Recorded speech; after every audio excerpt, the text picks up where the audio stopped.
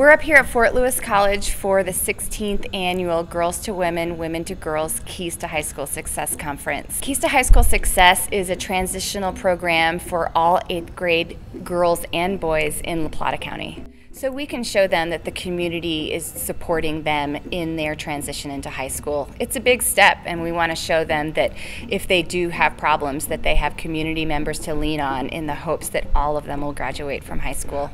The transition from 8th grade to high school versus the transition from 5th grade to 6th grade is so much bigger because they're becoming young adults. They really are grappling with more responsibility, more independence, and looking into having to decide on a path to their future.